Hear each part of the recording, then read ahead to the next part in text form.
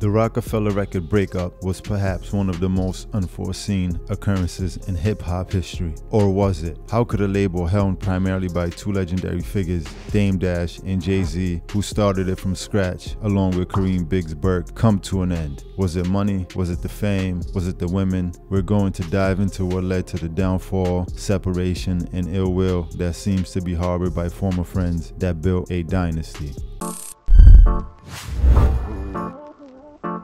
Let's start at the beginning. Before they were Roc-A-Fellas, they were street fellas. Jay-Z, Dame Dash, and Kareem Biggs Burke. Jay-Z, born in Brooklyn, New York, and raised in Marcy Projects, a housing project in Brooklyn's Bed-Stuy neighborhood, attended Eli Whitney High School in Brooklyn. Jay-Z also had a brief stint at Trenton Central High School in Trenton, New Jersey. However, Jay-Z did not graduate and dropped out during his sophomore year. According to Jay-Z's lyrics and interviews, he was now selling crack cocaine and was shot at several times during that time period. He said that music had saved his life because at a time when one of his drug dealer friends was arrested, he said the only reason he wasn't there was because he was out making music. Dame Dash, Dame Dash, born in New York City and Harlem, had to learn how to grow up fast. Dame Dash lost his mother at the age of 15 due to an asthma attack. Dame Dash has spoken of the loss of his mother and said that his biggest fear was to lose his mother as she provided everything for him. After his mother's passing, Dame Dash put himself through boarding school by being a hustler in the streets of Harlem. He stated that he had more money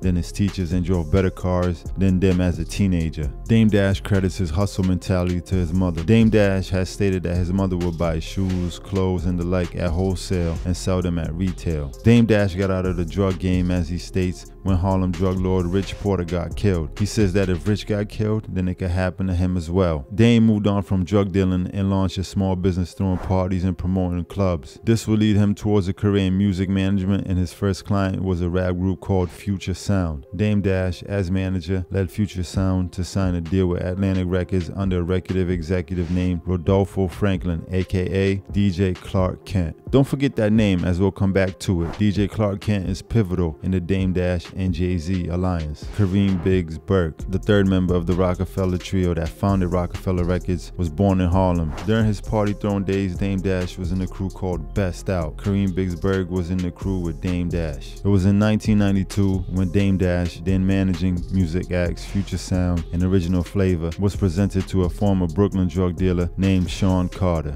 aka Jay-Z, by DJ Clark Kent, who knew Jay-Z since they were teenagers. Immediately, Dame Dash was awestruck by Jay-Z's talent and became his manager. Dame Dash handled all of the business-related concerns for his new act, Jay-Z. Dame Dash went all out for Jay-Z and brought him to several record labels, all closing their doors as they didn't see the young rapper as a valuable act. Due to the continuous rejection of Jay-Z by record labels, Dame Dash and Jay-Z decided to start their own record label. They approached Dame's friend Kareem Biggs Burke with the idea of starting their own record label, and he accepted and became the third founding member of Roc-A-Fella Records. With Jay-Z as the talent, Dame Dash handling the business side, and Biggs bringing the lifestyle to the table, they started their own label, Roc-A-Fella Records. The exact origin of the name Roc-A-Fella Records is highly debated. However, there are two prominent tales as to the name of the record label. Tale number one is that Roc-A-Fella was named after an alleged Brooklyn born hustler named Roc-A-Fella. How true this is, we don't have the facts to prove it. But nearly a decade after the launch of Roc-A-Fella Records,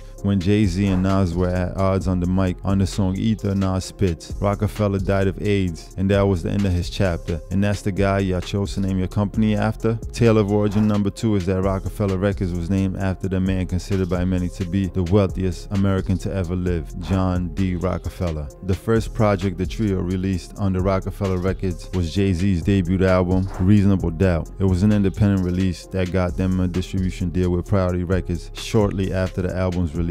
Reasonable Doubt was not a grandiose success in terms of record sales by any means. Released on June 25, 1996, it sold 43,000 copies in its first week. Not a success at all considering the colossal numbers of other hip-hop artists and groups who released albums the same year, including Tupac's All Eyez on Me, which sold 560,000 copies in its first week. Nas's It Was Written, 270,000 copies in its first week. Snoop Dogg's The Godfather sold 470,000 copies in its first week. Though Reasonable Doubt was promoted with the release of four singles, none of them reached the top 40. The first single off the album, Dead Presidents, did not chart at all. The following single, Ain't No featuring 17-year-old Foxy Brown, who is DJ Clark Kent's cousin, was his highest charting single reaching number 50. The other two single releases, Can't Knock the Hustle and Feeling It, did not peak higher than 70. In his first year, Reasonable Doubt sold a total of 420,000 records. It came 80,000 records short of being certified gold. This is a three-part series on the rise and fall of the Roc-A-Fella dynasty. In the next post from Street Fellas to Roc-A-Fella, we will see that things were just heating up for Roc-A-Fella. Fame, money, and hip-hop dominance